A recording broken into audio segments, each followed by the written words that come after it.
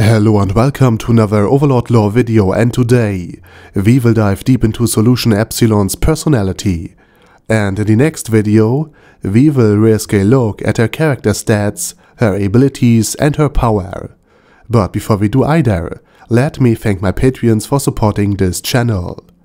Now first and foremost, Solution Epsilon is a member of the Pleiades Battlemaid formation and can, like a sister be deployed in either the 6 star formation, led by Sebastian, or in the 7 sister formation, with Aureole Omega, the strongest of the Pleiades sisters added.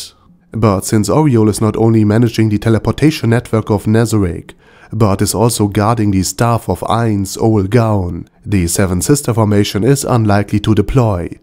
As for Solution Epsilon herself, she is the spy and assassin of the group, and her name is a pun itself, because she, as an assassin, is not only the solution for dealing with persons you would rather see dead than alive, but as a predator slime.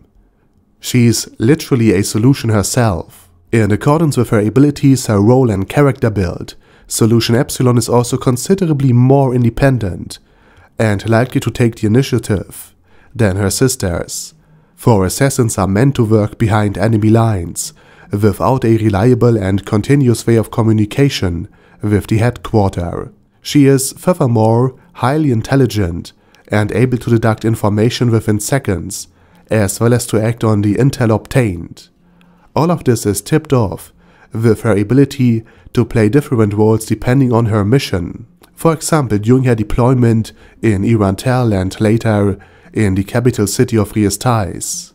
In order to abduct magic casters and obtain information, she played the role of a rich and spoiled merchant daughter to near perfection, while Sebas acted as the butler of the brat. And while Solution acted very impolite towards Sebas, she only did so because her role demanded it of her. In truth, she has a very high degree of respect for Sebastian and politely apologized to the Butler of Steel once the two of them were alone. Despite, both of them agreed before how Solution Epsilon should act in order for her to be convincing. But all of this sincere and honest politeness towards Sebas doesn't mean that Solution is one of the good and safe Pleiades. Quite the contrary. With a karma value of negative 400, she is extremely dangerous to anyone not from Nazarick. For example, on her mission while disguised as a merchant's daughter, she was frequently compared to Princess Renner in terms of beauty and allure, and she used this for both the greater benefit of Nazarick and her own pleasure, using her bodily features to catch Zag. And when I say catching him with her body, I'm literally talking about capturing his hand inside herself and then drawing him their tentacles on her inside.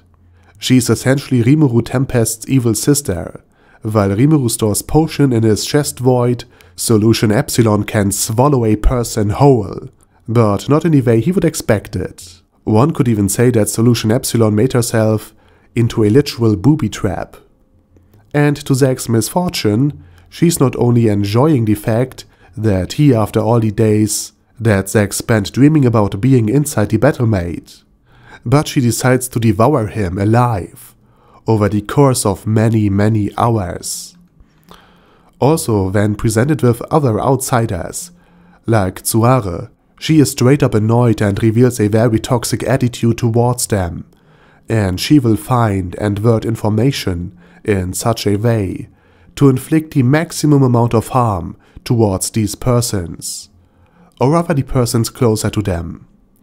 A link to a more explicit video about what I mean in the description, though when talking to a superior Sebas, or Shalltear, who had apparently taken an interest in Solution, she returns to a polite and demure attitude.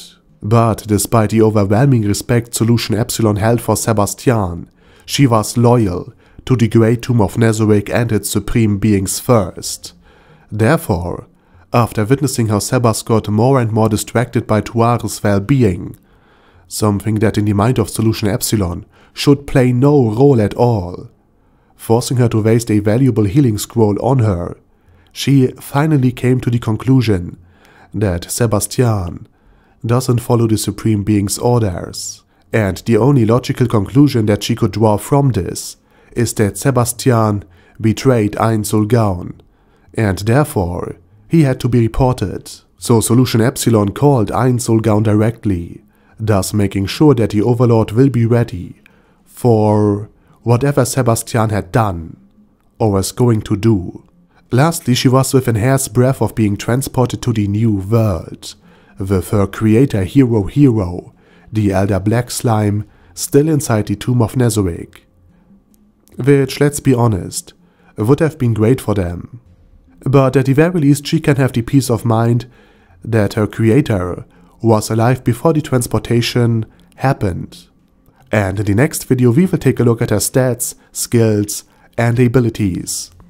And with that said I say thank you very much for watching and special thanks to Adam J, Al Capone, Andy, Angel of Death, Bad Guy Yee, Ben C, Boyzilla, Chrissy, Conquer All, Death is Mercy, Diabetic Centaur, Dystopia, Elika Birchleaf, Catus, Feral Shivan, Forbus Grupulon, Gigafight, Ghost of Epicness, Guy with Dead Head, Hector Marino, Black Phoenix Emperor, Hoss, Huster, Janabi,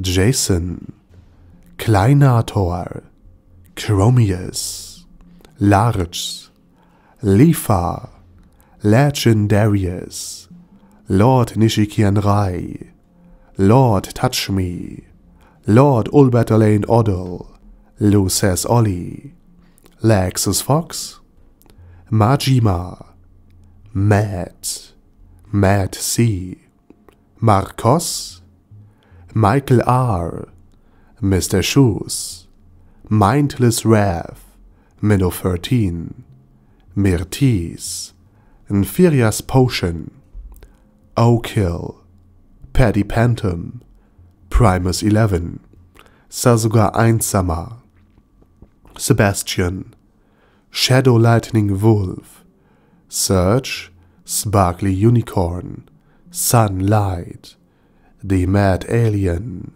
The Orc Warboss Rock Ad Smasher, Ultra Suck, Vash Hawkeye, Zoggo Bane of a Lot, and Zonagon.